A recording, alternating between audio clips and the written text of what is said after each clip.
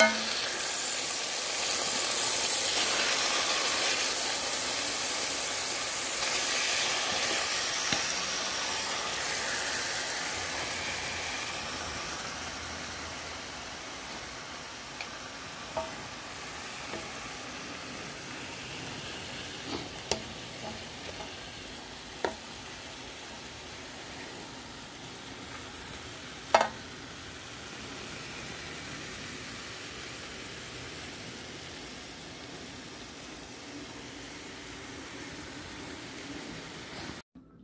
These are the seasonings that I use on the pork.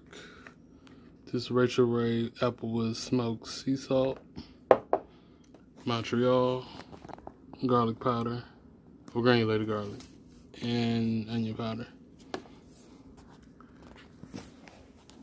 This is what looking like.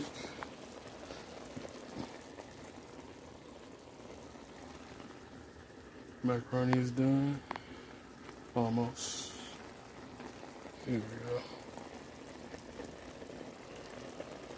It's looking good, it's smelling good.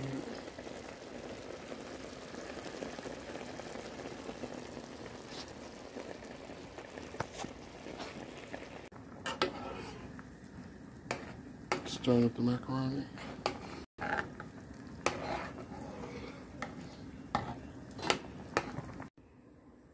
To finish the macaroni and cheese. It's gonna bake it, but change my mind.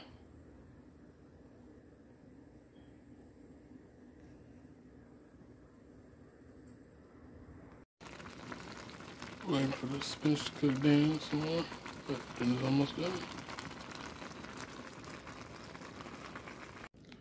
Just the final plate, final result.